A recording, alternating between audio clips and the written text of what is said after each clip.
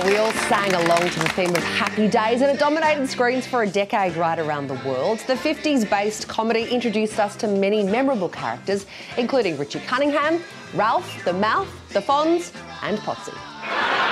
Listen, I told him at the Vogue Terrace, you're my manager. Just think if I get really big, you can work for me forever. Good kid. Come on, Pat. Let's go. I'll drive. You sit in the back. Uh, by the way, Fonz, you look terrible, man. If you're gonna work for me, you gotta clean yourself up. Work for him forever. What is he crazy? Work for Potsy forever? Uh, you're getting upset, Fonz? I'm on my way. Anson Williams played fan favourite Potsy, and he joins us now. Welcome to the show. Hey! It's great to be on your show. Hey, you weren't the only actor to audition for the role of Potsy. John Travolta also auditioned for the role. Have you spoken to him about that? John, you know, it's funny. I didn't even know he auditioned until I was interviewed by Marilu Henner, and she told me oh, years later. Imagine how different your life So would have turned out. Well, I told well, I told Marilu to tell John I saved his career by, get, by me getting the part and not him. Come on, Anson. You were an absolute superstar, as were the whole cast of Happy Days. I, you know, I grew up watching you guys. Mm. What was it like to be part of such an iconic show? It, it was such just a remarkably lucky break for me. Not only for, for doing the show, which was like tremendously fun, but this group of people that Garry Marshall put together, just, phenom- just phenomenal individuals. The friendships that were created are even more important than the show. And we're still friends today. And uh, Garry Marshall also made sure that um, he used that show as a college for us. He inspired us to learn so many areas of the business. And I think it's why we're, we're still involved. We're still, you know, we're, we're still working and we're still moving forward. And all of that was because of Happy Days.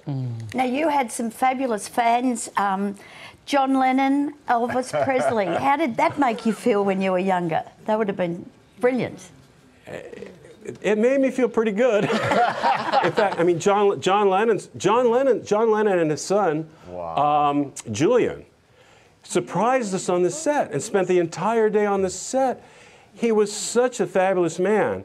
He was so kind. He was so generous, and um, it it was just a a moment in time I'll never forget. You know you're famous when John Lennon asks you for your autograph.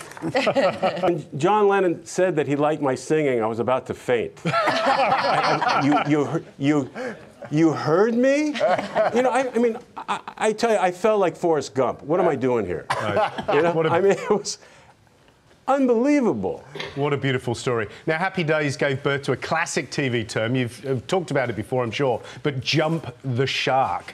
What did you. Right. We've all heard it, haven't you? So, what did you think when you were filming that scene? I was just thinking uh, that I was glad we were on location at the beach. It was such a nice day. But honestly, they, they picked Jump the Shark because they wanted Fonzie to do something athletic and Henry could water ski. So they created a, an episode around that. But actually, it's kind of unfair saying that Happy Days jumped the shark. We were, we were still we were still number one, and we were on for five more years after that episode. Wow. You know what I love about that actually now? The denim shorts? no, I was going to say the Fonz now would be a gym junkie, muscled up, and looking like a totally different man. When we look back at that, I look at the Fonz and go, I thought he was so cool, and yet he's, he's a slender. That's right, he's- a slender tiny guy, little meek guy. And what was he like? What was it like being out in public with the Fonz? I mean, he must have been mobbed by fans Oh, my as well. gosh. Well, it, you know, back then there were, there were only three networks. It was, be, it was before cable or any of that. So there'd be an average of 58 million people a week watching our show. Whoa. Wow. And Bit uh, like that's and that's just the United States. Yeah. So, um, but Henry um, was he became the number one star in the world. In the world, if he 70,000 people would fill a coliseum just to see him. But Henry always, always kept his cool. Never put it into anyone's faces. Always was collaborative. Always a team player. So it was, but, but it was just quite remarkable to see the effect of that character. And, and believe me, that character was invented by Henry. He invented that character. Hmm. Was the Fonz, of course, he You kept do his it for cool. Fonz, don't you? Hey, Mr. C.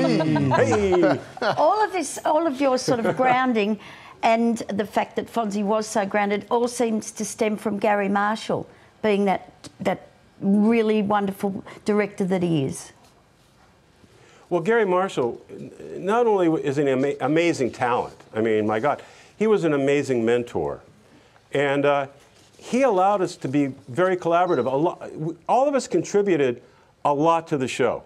We all had something to contribute, and he, and he made that happen. We were allowed to, to be part of the, we were allowed to be more than actors. We were allowed to, to really have creative impact. And um, he, he inspired me to become an entrepreneur. He inspired me to uh, direct. He, uh, he, he made it all. He, he, he, he opened the doors of, at Paramount Studios so we could learn anything we wanted to learn. I spent. I, I, I was there with Roman Polanski when, he- when he was directing Chinatown on the back lot. I was able to observe that. I was able to observe John Schlesinger directing Day of the Locust. I was able to watch all the musical numbers being shot for Grease. That was my training as a director. Wow. That's so cool. You know, it was. Yeah. Very It cool. is cool, isn't it? But we've all just gone quiet here. 'cause We're just listening. We're just listening. We could listen for hours. And of couldn't we? course, Ron Howard uh, was inspired to go and do wonderful things as well. He's got some great movies behind uh, that he's behind. Ron Oh. Howard, oh, Richie Cunningham. It launched so many Well, careers. Ron, I don't know if you, if you know this, but Ron Howard, as a civilian, won the National Kodak Award at 12 years old for uh, directing the best, best um, film edited in camera. So he's, he, he wanted to be a direct, he wanted to be a director from a very early age. So um, and, and not only is he a great a great man, but um, incredibly talented, incredibly selfless, but also very determined, very hardworking. And, and he, he, he really was able to take that and, and move forward brilliantly with brilliant movies. Oh, It's so nice to hear you speak of your cast members with such affection. And we have so much more to talk to you about. Can you stay with us? Yes. All right, fantastic. Absolutely. Studio 10, we'll be right back with more from Anson Williams. Don't go anywhere. But buff along. Uh, our special interview today continues with Happy Days star Anson Williams.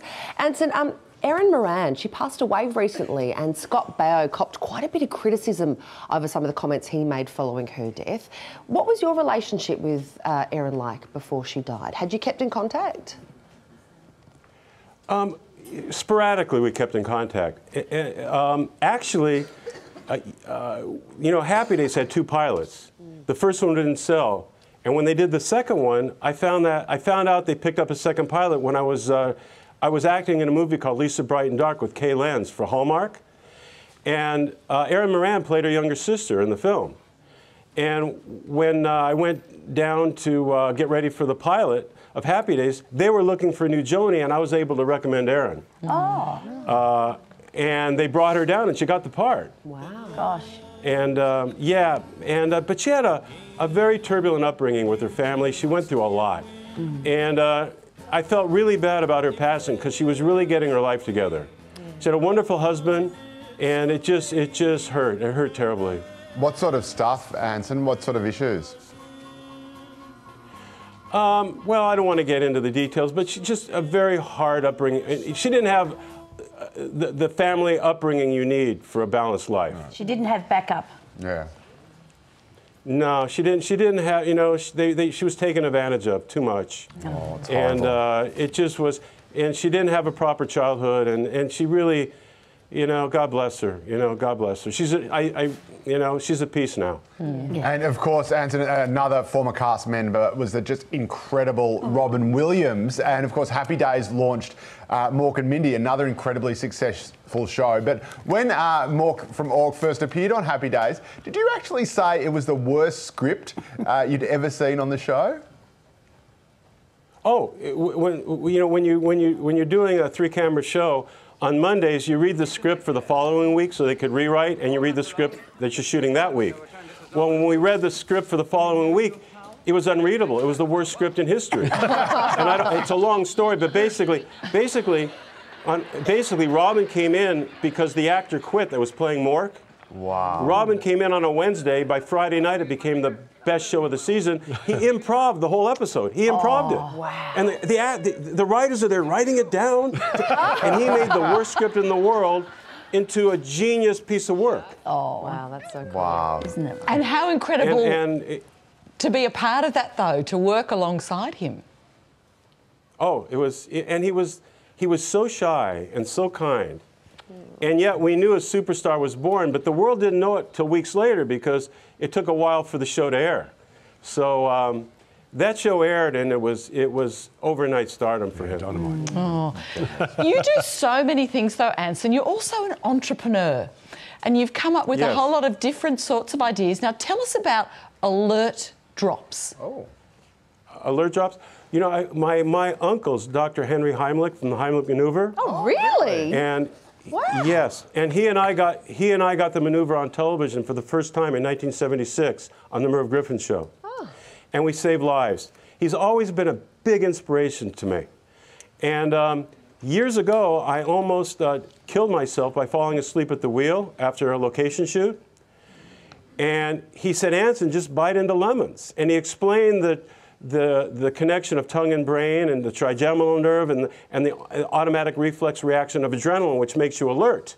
Mm. Well, a few years ago, my business partner, Joanna Cannell, and I uh, were reading up one of the most catastrophic problems in the world, not only the United States, is drowsy driving. Mm. There's 168 million drowsy drivers in America. Wow. One out of five accidents are caused, more deaths, innocent deaths. So we thought, why can't we create a product that sp- is, is like a lemon, but just sprays on your tongue and instantly makes you alert, wakes you up, and saves your life? Mm. And I talked it over with Dr. Heimlich, and we created it together. Wow. And before he passed away in December, he said, Anson, get that product, get Alert Drops out to the world. It will save more lives than the Heimlich maneuver. It's a great idea. It's amazing. And here it is. And here it is. Here it oh. is. And Can you all pass you do, that over, Anson? I could do with some right now. Boom! He's awake. Oh, man. and what it, whoa. but what it does, I just got an automatic reflex reaction of adrenaline from my body, and I'm awake, I'm alert. Nothing's even in my system. It's lemon and citric acid. Incredible. And it's called Alert Drops. And in Australia, you can go to alertdrops.com slash Australia. Now, the Heimlich manoeuvre, though, Yes. that in fact has saved Denise Drysdale, who's sitting next to me here. Really?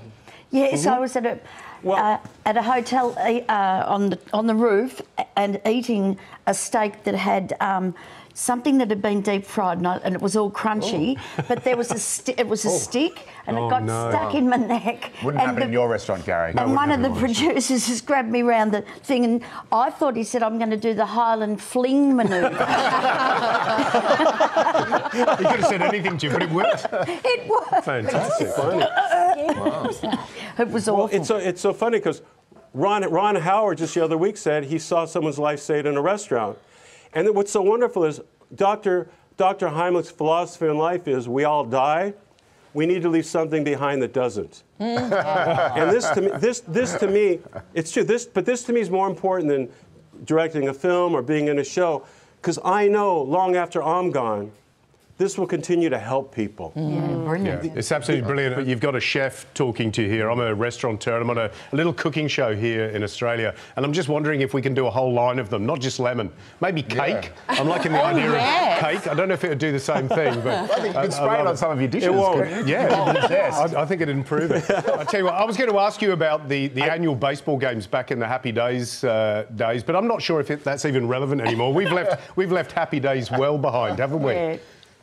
Did, can, I, Well, can I no, ask you? you know, I mean, I have to say, we, we all love the show. We grew up with the show. Hmm. Uh, do you mind talking about it? Because everywhere you go, somebody's going to talk to you about it, isn't it? Not at, not at all. That, that, that Happy Days has given me so much joy in my life, so much opportunity outside of, of the show. It, it, I was able, I, I was, became a writer out of it. I became a director out of it. I'm able to become an entrepreneur. I'm able to create things that actually are, contribute to society. I mean, that's all because of Happy Days. Brilliant I'm so grateful. I'm so thankful. You are just a delight. absolutely. It's been so lovely speaking with you today. Thank you so much for sharing some insights as to working on the show and what you've been up to. Anson Williams, thank you so much. Yay! Thank you.